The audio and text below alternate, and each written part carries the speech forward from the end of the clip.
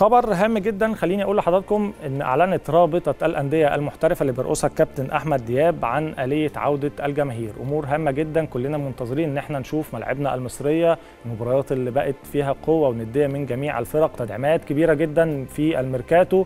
ولكن أهم شيء دلوقتي أصبح المطلب الرئيسي للجمهور المصري هو عودة الجماهير.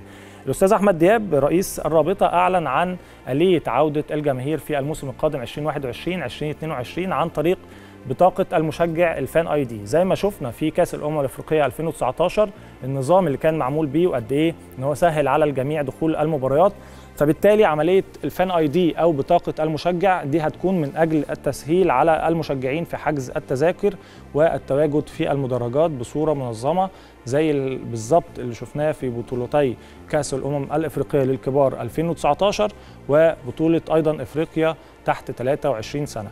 بإذن الله عندنا أمور إيجابية كتيره جدا وفي عاتق كبير جدا على رابطة الأندية المحترفة للدوري المصري في البحث عن أمور جيدة في الدوري العام الممتاز. شفنا قصة إن هم بدأوا يدوا كمان للاعبين جوائز إن شاء الله هيتم بعد كده توزيعها كأفضل لاعب أفضل حارس. أمور كتيرة بيحاولوا بيها يطوروا بطولة الدوري العام الممتاز.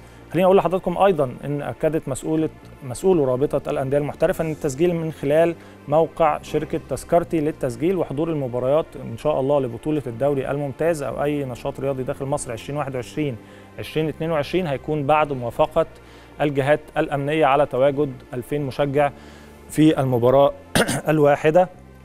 ده خبر هام جدا وإحنا أكيد بنأمل ان إحنا دايما نشوف الجمهور المصري متواجد في مدرجاتنا واكيد بيشجع كل واحد بيشجع التشجيع المحترم اللي إحنا شايفينه في الصورة وفي الآخر ده في صالح كرة القدم المصرية واكيد في صالح اللاعبين المصريين.